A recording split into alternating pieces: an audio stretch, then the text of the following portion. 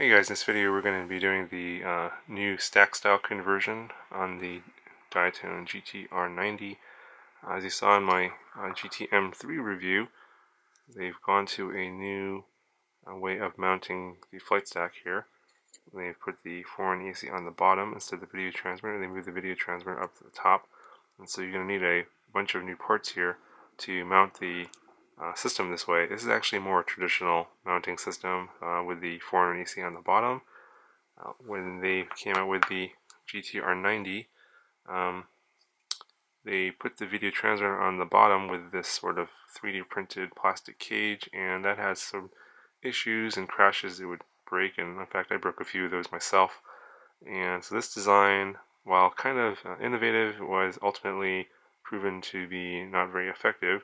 So that's why they would come to the newer, more traditional design with the video transmitter back on top. So they sent me their little kit here to do the conversion. It comes with all the parts to uh, change the stack over.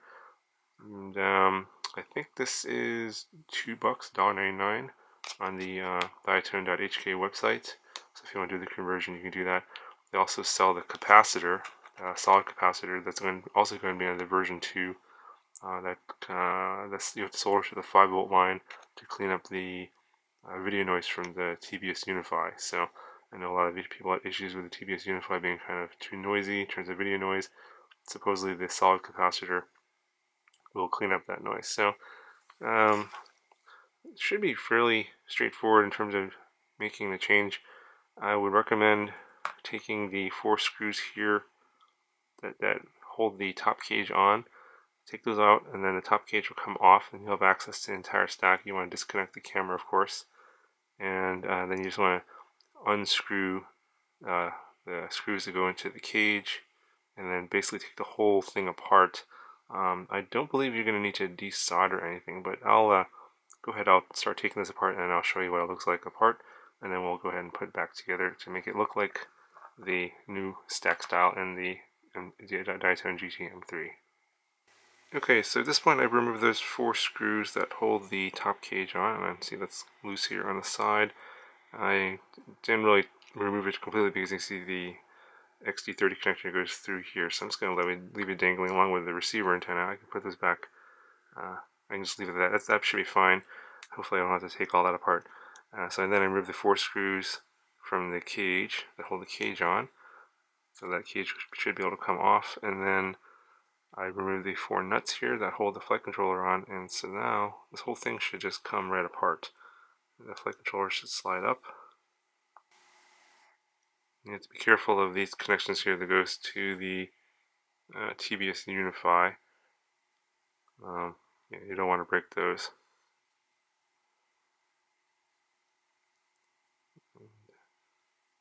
Should go off to the side. And these connections here goes to the 4-in-1 ESC.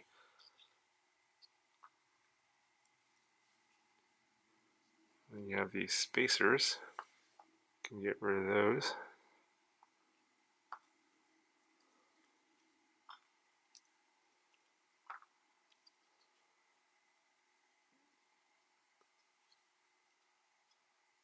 So getting the 4-in ESC is going to be limited by these little um, holders here, so probably you need to snap these off of the arm. See, I think it goes through, yeah, that goes through the wires there, so can't get this off unless you desolder the wires, which I don't want to do.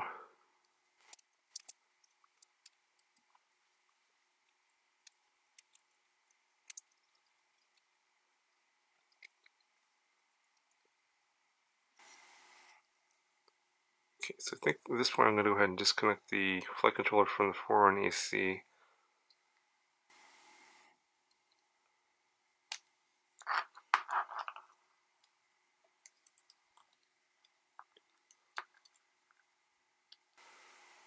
Okay, so at this point I want to get the Unify out of here, so I'm going to disconnect the uh, video transmitter antenna.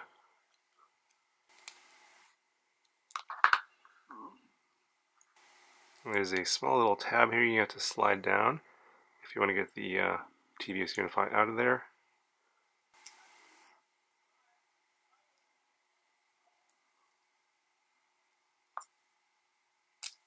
There we go. I'm actually going to disconnect the cable here from the TBS Unify. I'll make things a little bit easier. Oh. So I can get it out without that I can get the Unify out without disconnecting it, so I'm just going to go ahead and do that. Now, I just need to free the 4 ESC from the cage, and then the cage will be gone.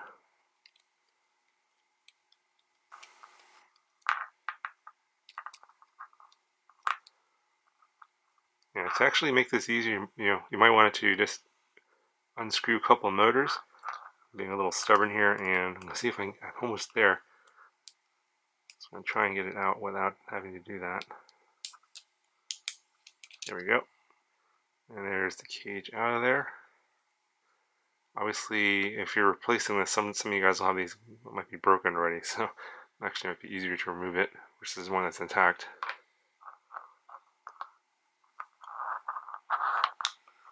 So I was able to uh, get everything disconnected without desoldering, as you can see here. And now we're going to go ahead and assemble the new stack.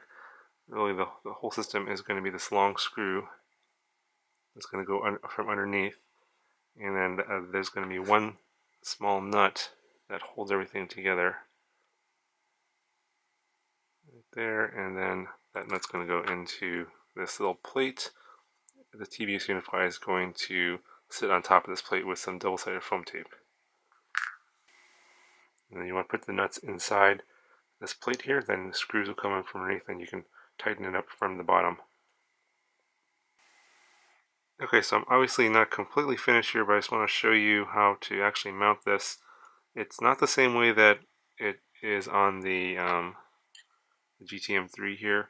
I tried to do that and it's too short on the bottom here because there's this uh, little mounting aluminum plate to mount the top cage to the bottom plate.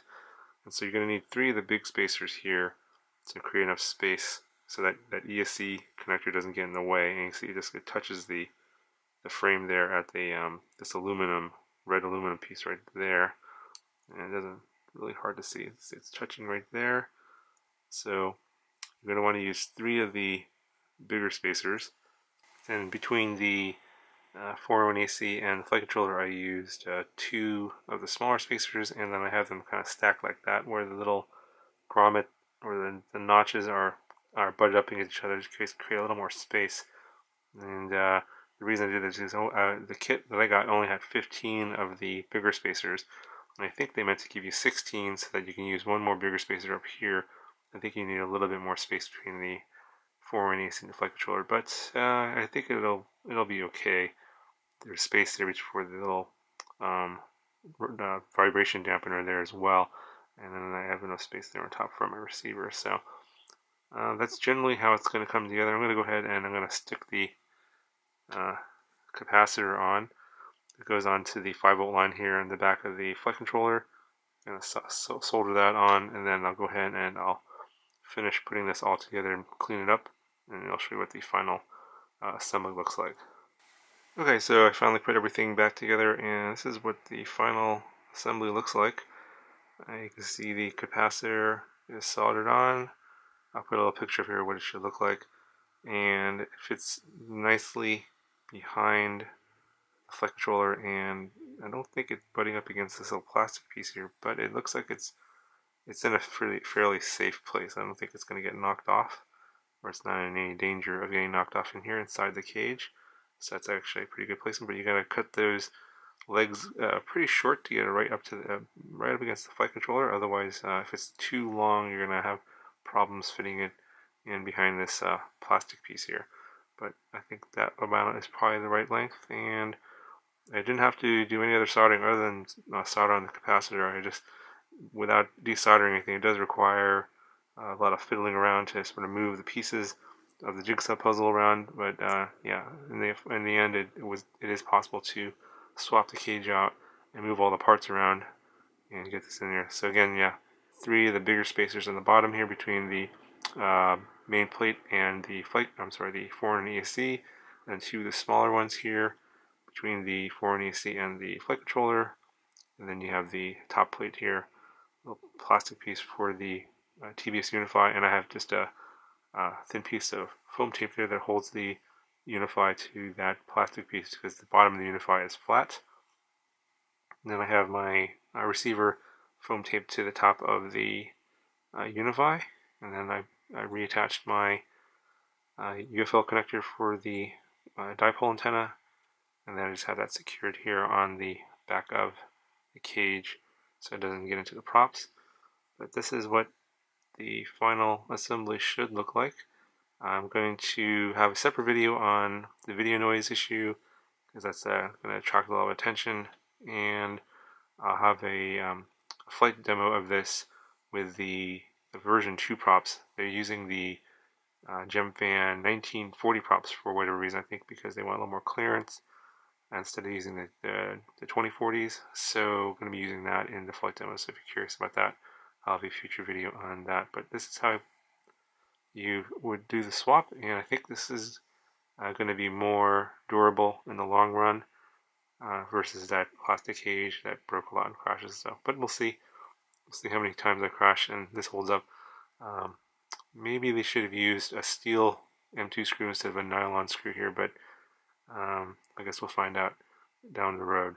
Anyway, guys, that's the end of this video. If you have any questions about this, uh, let me know, and I'll talk to you guys in the next one.